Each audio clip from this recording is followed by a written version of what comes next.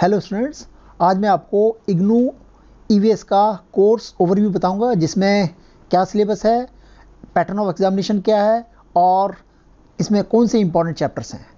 इस कोर्स का कोड है B E V A E one eight one इस कोर्स को ability enhancement compulsory course A E C C बोलते हैं, और समटाइम्स इसका नाम एनवायरमेंटल स्टडीज़ और एनवायरमेंटल साइंस दोनों बोलते हैं इसको।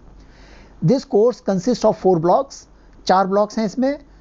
Block one, two, three and four, जो पहला ब्लॉक है introduction to environment and environmental studies है, इसमें तीन चैप्टर हैं।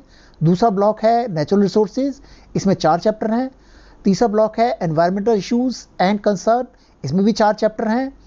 एंड चौथा ब्लॉक है protecting our environment policies and practice इसमें तीन चैप्टर हैं। सबसे पहले ब्लॉक वन के बारे में बताऊँगा, जिसके अंदर है introduction to environment and environmental studies इसके अंदर तीन चैप्टर्स हैं।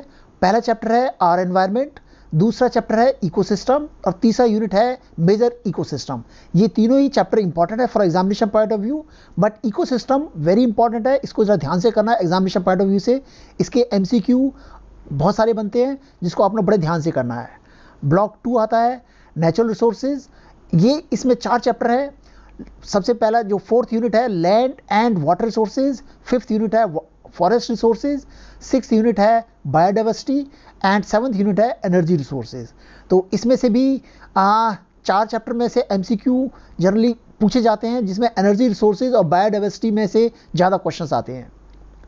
नेक्स्ट है block three environmental issues and concern ये इसमें भी चार चैप्टर हैं जिसमें यूनिट एट नाइन टेन और इलेवन है। बायो एट यूनिट एट है बायोडाइवर्सिटी यूनिट नाइन है environmental pollution and hazards unit ten है वेस्ट मैनेजमेंट, यूनिट इलेवन है ग्लोबल एनवायरमेंटल इशूज़ अब ये ये ब्लॉक सबसे इंपॉर्टेंट ब्लॉक है, क्योंकि ये बहुत छोटा ब्लॉक है but examination point of view से बड़ा इंपॉर्टेंट है, क्योंकि जैसे यूनिट टेन देखिए, वेस्ट मैनेजमेंट, बड़ा छोटा सा टॉपिक है और बड़ा छोटा चैप्टर है। इसमें से मैक्सिमम 12 से 20 maximum 20 M C Q question बनते हैं। ऐसे ही ग्लोबल एनवायरमेंटल इशूज़ है, इसमें से 15 या 20 क्वेश्चन बनेंगे, या मैक्सिमम 30 क्वेश्चन लगा लीजिए एम सी क्यू जिसमें से क्या बहुत शॉर्ट टाइम में आप इसको बड़े अच्छी तरीके से कर सकते हैं और एग्जामिनेशन में इन तीनों चैप्टर्स में से, जैसे एनवायरमेंट और पॉल्यूशन हेजार्ड्स वेस्ट मैनेजमेंट और ग्लोबल एनवायरमेंट इशू इनमें से बहुत सारे क्वेश्चन है जो फाइनल एग्ज़ाम में आते हैं। बट जो टाइम स्पेंड करेंगे आप, बहुत कम टाइम के अंदर आप इसमें मैक्सिमम स्कोर कर सकते हैं। तो ये तीन चैप्टर बड़े important for examination point of view से।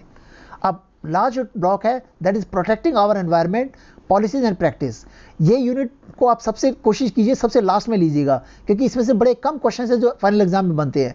यानी कि जो 90 परसेंट जो सिलेबस है आपका 90 परसेंट जो कोर्स है, वो पहले तीन ब्लॉक में से ही एमसीक्यू आते हैं। इसमें से फाइव या टेन परसेंट ही बनते हैं क्वेश्चन जो बहुत कम बनते हैं।